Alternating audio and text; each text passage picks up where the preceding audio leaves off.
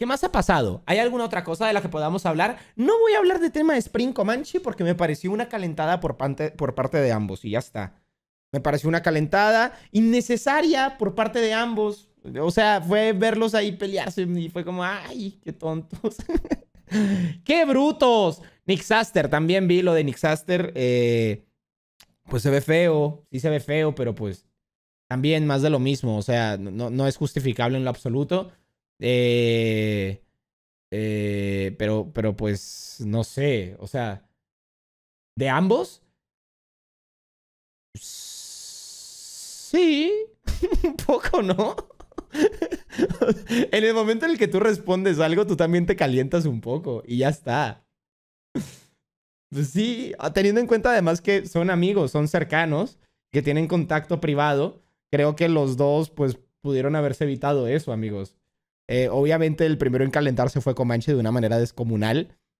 De hecho, yo le escribí a Comanche ayer en la tarde cuando vi eso, le dije, amigo, no es necesario, concéntrate en tu evento, eh, sé que estás muy mecha corta por la presión del evento, pero pues no te puedes comenzar a fijar en ese tipo de comentarios que pues literalmente son comentarios que no valen nada. O sea, ese tipo de comentarios al que Comanche respondió es un comentario de una persona que en verdad, o sea, es un comentario literalmente de NPC absoluto, del, del NPC más absoluto de la historia. O sea, se suelta un comentario así, eh, si te vas a clavar con una persona, me parece tonto. O sea, es algo que le he dicho mucho a Comanche, que lo defiendo de las defendidas, que, tengo que defenderle. Por ejemplo, a mí me parece que lo que, ya lo mencioné en, un directo anterior, lo que le hizo la comunidad de algunos streamers, ni siquiera comunidad angloparlante, de gente de acá que sigue a streamers angloparlantes, a mí me pareció súper innecesario y súper tonto. Em, pero, pero, por ejemplo, un gran error que puede cometer Comanche es fijarse en ese tipo de personas, que como esas personas hay un montón la verdad es que no vale la pena ni siquiera dedicarles el mínimo de atención que quieren, porque son literalmente cuentas de Twitter que, que, viven para eso, viven para tener esa, esa interacción. Por algún motivo, esa persona que puso ese tweet, estoy seguro que en este momento se siente satisfecha. ¿Para qué le das esa satisfacción? Es algo que yo no entiendo. Engancharse con esa gente no está bien. Jamás lo está. Spring pues no se queda callado nunca, muy pocas veces pues, pues se queda callado. Tampoco faltó al respeto, la verdad. Eh, fue una calentada. Ya está. Lo de Tali Comanche. Bueno, es que esa chica también. Pienso que el mayor, el mayor salseo o polémica que debe de haber en los Squid, que sean por los propios juegos. Que sea porque no sé, como por ejemplo lo de Spurs, lo de, lo de, lo de son polémicas, quieras o no, es, algo polémico que alguien regresa a la vida, pero es algo del propio juego. Ya ponernos externos de esta persona puso un tweet de esto, este le dijo esto a esto, este hizo esto en esto. Amigos, los squids son tensos, es algo que se vive mucho, es algo muy, muy verga. Vívanlo de la misma manera. No, créanme que los juegos son demasiado interesantes para prestar atención a otras cosas que no lo vale. No lo vale en lo absoluto. Seguir en este momento clavado con Comanche o con Sprint, a mí se me hace simplemente tonto. Seguir clavado que, por lo que dijo Nisaxter, que no lo comparto, ni esa actitud la comparto, yo no voy a insultar a una persona que no conozco llamándole zorro, zorra o lo que sea, eh, tampoco lo comparto, pero tampoco, eh, ya, ya dejen de prestarle atención a esas situaciones feas y céntrense en lo verga que está haciendo esto. El año pasado no tuvimos ni una sola polémica fuera de los propios juegos.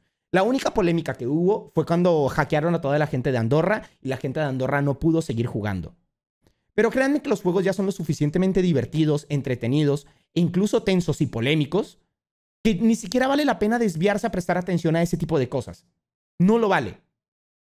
También, y hay que reconocerlo, Comi comete un error en el momento en el que él, como organizador del evento, hace este tipo de actitudes. Yo se lo dije ayer por privado. Pero es un momento de tensión para mucha gente. La gente está tensa.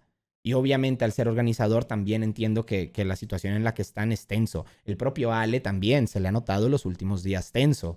O sea, créanme que esto es algo que, que, quieras o no, pues la gente lleva trabajando tanto tiempo, lleva tanto tiempo detrás que entiendo el estrés que pueden tener. No se justifica todo, pero también hay que ser un poco empáticos. Es que en verdad, o sea, hay que ser un poquito empáticos y si no quieres ser empático, por lo menos encárgate de lo que te tienes que encargar al ser espectador, de disfrutar. Esta semana es de disfrute para ti. Esta semana es neta una semana de contenido espectacular. Llevamos un año esperando una semana como esta. La llevamos un año, desde el evento pasado la estamos esperando. Para que llegue la semana y te estés fijando que Comanche dijo esto de Sprint, que Sprint le respondió esto a Comanche, que este le dijo esto al otro, que este puso un tweet diciendo que va a ser un hilo y todo eso, ni lo vale. En verdad, es que no lo vale en lo absoluto, amigos. No lo vale. No tienes que mancharte de mierda en una semana en la que, en la que literalmente es una semana de celebración. Y ya no solamente para comunidad hispanohablante, hasta los gringos la están disfrutando. Hasta los americanos están disfrutando esta semana. Disfrútala tú.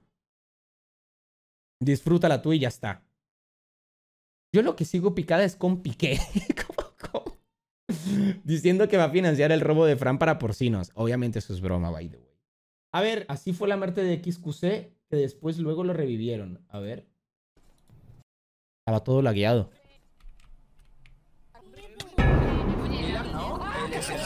Lag. A ver. También da curiosidad saber si sin lag le hubiera pasado eso, se hubiera muerto. ¿Cuenta como bug?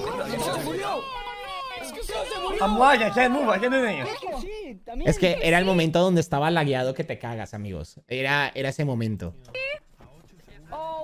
Pero sin lag, esa muerte ustedes la ven legit porque yo veo, si no hubiera habido lag, esa muerte la veo súper legit. Pero pues sí, con, con ese lag es imposible moverse. Si terminabas ahí arriba o estabas en alguna parte de arriba cuando hubo ese ataque de lag, que literalmente hubo PCs que petaron en ese momento, pues ya estaba jodido. Además ya había terminado el juego, en eso tienen razón. Pero sigue la pregunta, ¿eh? Sin lag, ¿si era válida o no?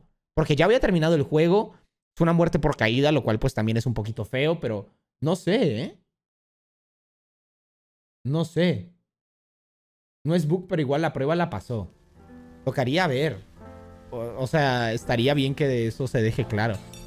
Pero bueno, aquí entonces muerte de XQC, que no fue muerte de XQC.